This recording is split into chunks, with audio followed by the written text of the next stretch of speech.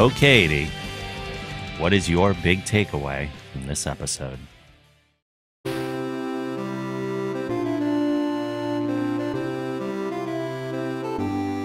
I have a lot of thoughts. I think I'm still processing this episode.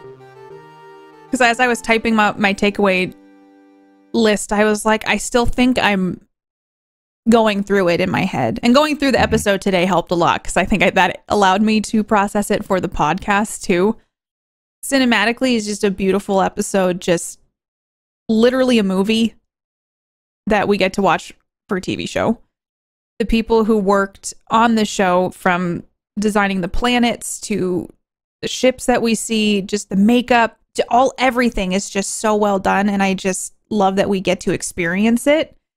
And I know I say it all the time, but you can tell there's a lot of love built into the show and that the people who make the show are very excited about the show and what they're putting out.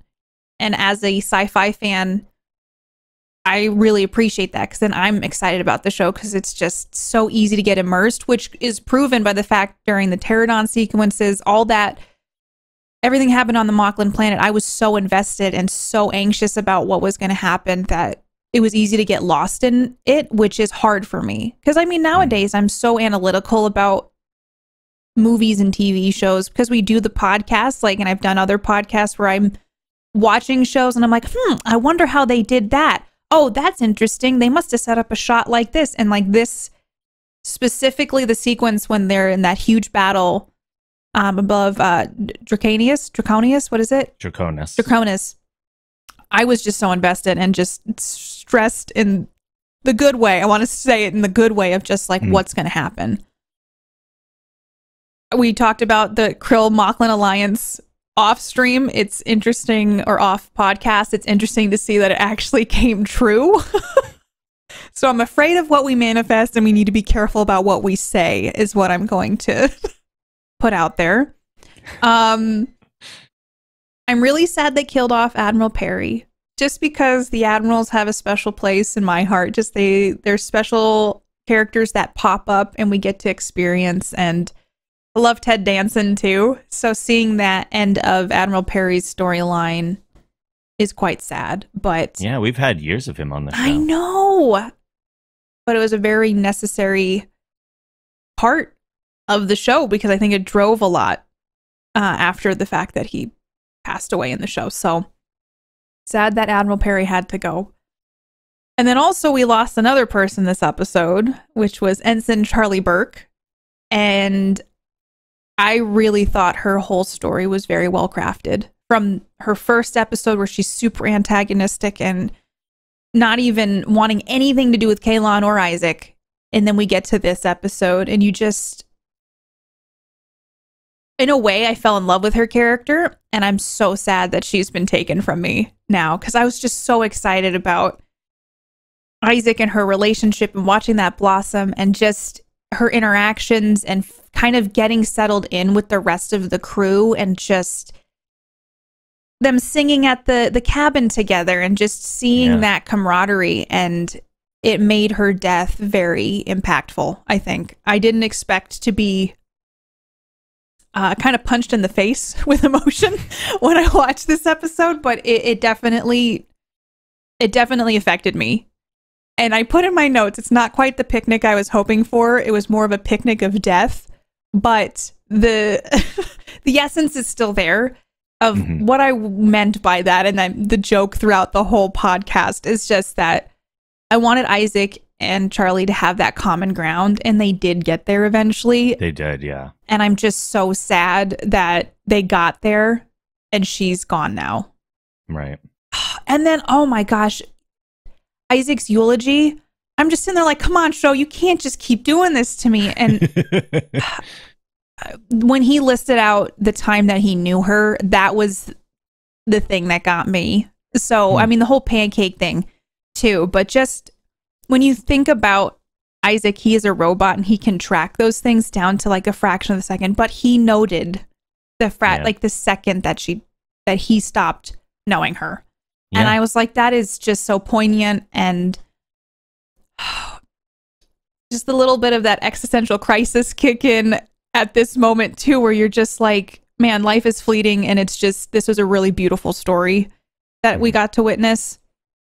I was shocked that she died. I didn't see that coming. I didn't anticipate that. I, I was prepared for a death after Admiral Perry, but I did not see that it was going to be Charlie.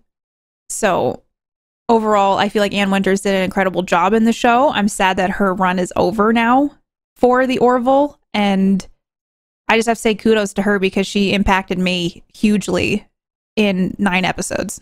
So Yeah.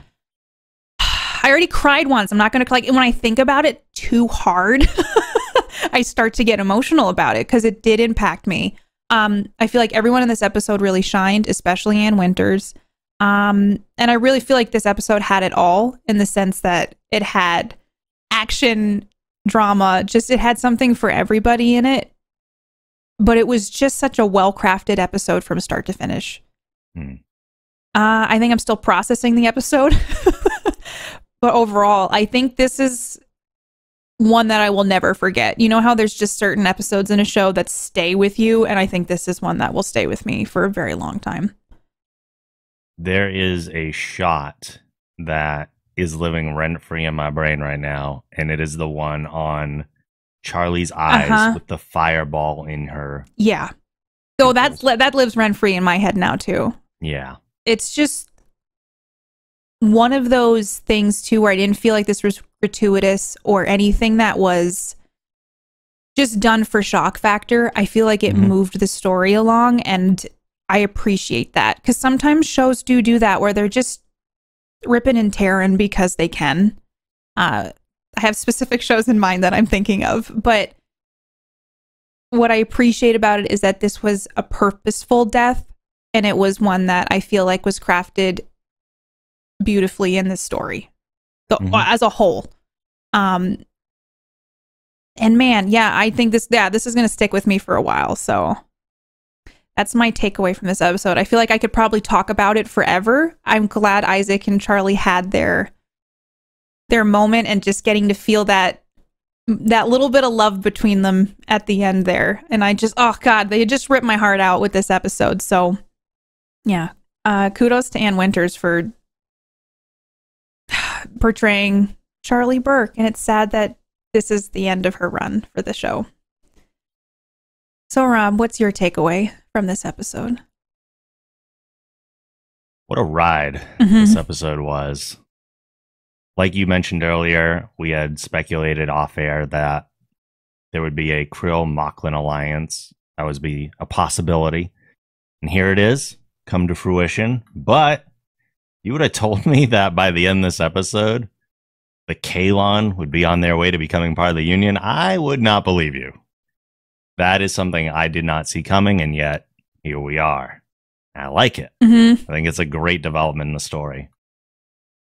It's become redundant at this point because we say it every episode, but the visual effects are just so stellar. So good. They're unbelievable. Yeah. I I particularly loved the lighting of the pterodons when they're fighting in the atmosphere and there's like sunset colors around Mhm. everything. It was gorgeous. It looked so good. Of course you'd of love the terror. something on the pterodons. Yeah, that's what caught my eye. yeah. Uh, the big moral question of the episode is whether genocide can be justified if it means your own survival. The argument is made early on that genocide denies the potential of change and evolution, change that we've previously seen in both Isaac and in Timmis, Mm-hmm. even if Timmis's was a little different. Ed's faith in that ideal is validated by the end. And I think that's important. I think it's great when optimistic sci-fi, and I love optimistic sci-fi so much more than any other kind of sci-fi, because it presents an ideal and usually by the end validates that ideal to say the right thing to do was the right thing to do. I love that. I'm happy they went that way and that it turned out that the Kaylon had a realization. It's at that little bit of hope of, mm-hmm. you know, I'm already so excited about the fact that the Kaylon can become more sentient in that emotional way. So I'm just over here jazzed about that. But I I, was really excited that the teachable moment minimizes it so much, but that's something that happened, changed their perspective. And I think that's a really cool way to do it. Yeah. Even the ones who you think are most incapable of change can still learn and grow. Yeah. It's a great message to have here, and I like it a lot. Finally, Charlie Burke. I have seen all sorts of weird fan backlash directed at her Oh, really? because, yeah, I have, and it's disappointing. And it's generally around the fact that she was so outspoken and mean toward Isaac, and they thought she was a one note character. But from a storytelling perspective, every character can't start in an optimal place. If you do that, there's nowhere for the character to go. Charlie's a character that was consumed by trauma and lashed out because of it. yeah. And that's a thing that we were made to understand and feel from the beginning with her. Yeah, I totally got where she was coming from. Every time there was an issue with her and Isaac or something, I'm I was always holding out the hope that they would eventually meet at a common place and they did. Yeah. But I also realized that it's not just going to be like, "Oh, you're all right. I guess it's okay to just, you know, it's not like that. Like life isn't like that." Right. And I feel like it's unfair to put that on her because she had a little bit more of an aggressive side towards a character a lot of us really do love. But it's also just like real life. Not everybody gets along. Not everybody is going to have kind words to say about somebody else and it's just a factor of how things are. I guess I missed out on the the backlash stuff, but that's I feel like her character was very well crafted and she played her really well. Yeah, I agree. I'm curious to see what people will say now that this has happened. Like if they've changed their I the opinion same on that. curiosity. Yeah, there were some people who already kind of changed their tone when she made up with Isaac, hmm and it kind of clicked for them. And I imagine this will do even more for that. I do feel in a way that, kind of like you said before, she never really got over Amanda's death, Yeah. and to me, that made her sacrifice more believable. I think when it happened and she's just in focus mode, I'm going to overload this. And then it's really dark to say this, but like when you're in those those throes of grief, uh, and yes, it's been a long time, I think, since her ship has exploded and she's lost Mhm. Amanda, but it sadly felt like that's what she wanted in a way. Yeah, it felt like, and I mean, she said it Mhm. internally in a way too, but it did feel like in that moment, she was able to let go because of that. And it made it feel okay to her. Like it's uh, her at peace with what's Yes. happening. Yep. Like she was so traumatized and tortured by what had happened that for her, she didn't necessarily want to die, hmm but when put in a situation where she felt like she had to sacrifice herself, it made it justifiable to her. And it makes sense, like if you think about grief in general, like they have all those stages of grief and stuff, but like her getting to the point where she's facing the fact that she's going to die, that she's Mhm. okay with it because she gets to be with the person that she loves. Yeah. So like it's kind of poetic. It's really sad when you think about it on more than just a surface level, but it Yeah. makes a lot of sense. And if you paid attention during this season, it makes sense for her character. And you can see the way that she grew. I just, I don't know. I feel like Charlie became one of my favorite characters this season. And I really was like, dang, like this episode specifically, you just see her in action and just that kind of person you want in those situations who is just like, I'm getting it done. I'm confident. I'm going to make sure that I handle things. And it showed her strength in a lot of ways. Mhm. She was very outspoken at times, and she said some things people probably didn't agree with. And, you know, I just think it was a really well done story. Yeah. Yeah. Ultimately, I found her character's arc and her story to be incredibly satisfying, which is also why her sacrifice hits Mhm. so emotionally. Like if it didn't work, we wouldn't feel this. Oh yeah, like I'm still like I'm still fighting back tears like as we're talking about it. Yeah. and I'm over here like just just don't do it cuz the video's going to go on YouTube. but literally like it it impacted me so much more than I think I expected it to. hmm Same. So like I even thinking about it like this was like a traumatic episode of the Orville. And it's something where it's a testament to the actors as well as the story that they help facilitate and Mhm. shows that it was effective in what it was trying to tell.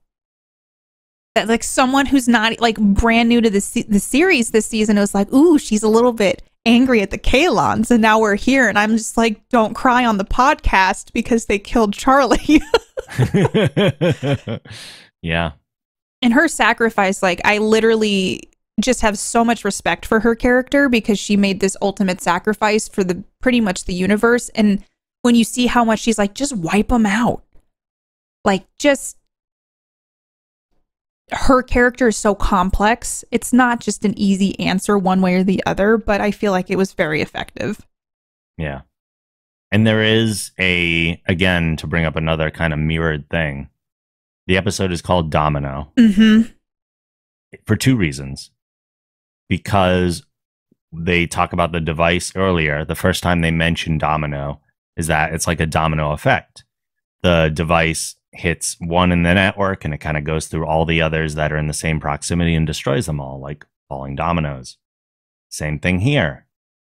And Isaac mentions a domino during the eulogy i know yeah saying that Charlie's sacrifice is like a domino effect and it hit the Kaylon and went through the Kaylon and it changed them in a way. So it's a different set them up and knock them down, except this time we're not destroying them. We're teaching them to grow and learn and change. I like literally speechless.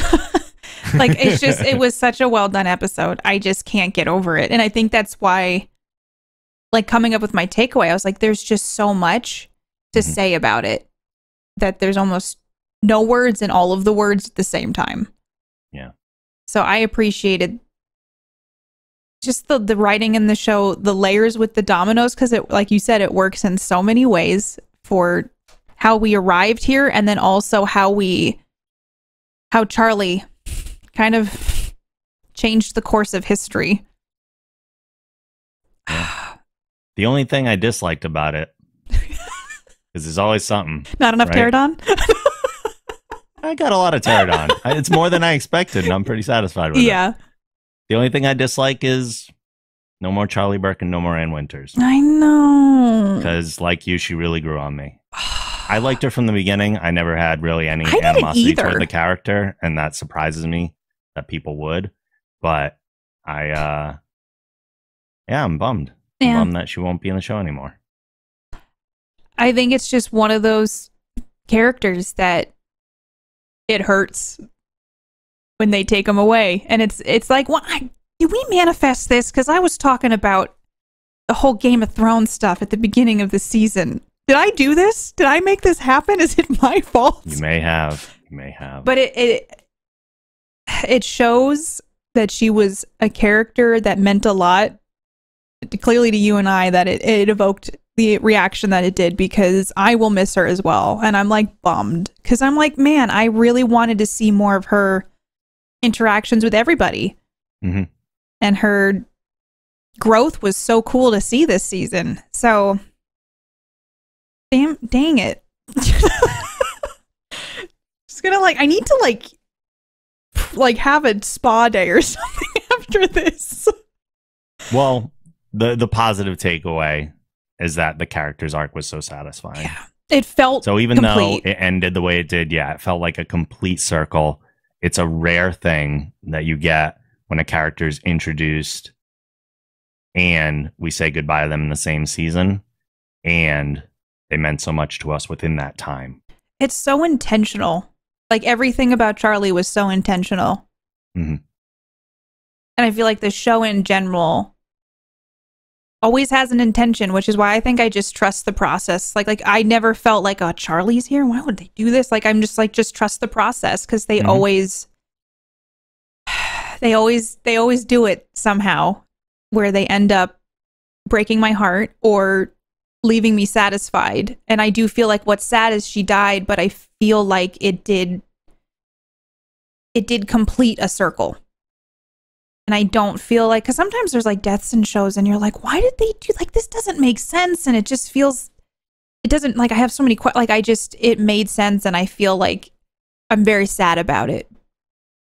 But she she told a, a dang good story in her episodes. Yeah. Before we get out of here, we have one more thing to do because Katie's husband Mark is also a big fan of the Orville and always leaves us with his one sentence review. I need ice cream.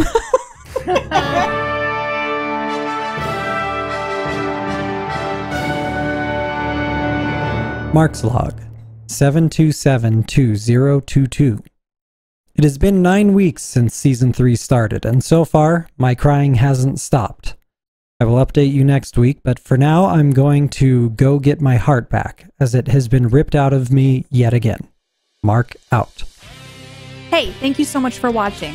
This is just a segment of the full podcast that Rob and I do. So if you want to hear more of our thoughts and full episode discussions, go to thegeekgeneration.com slash quantum drive.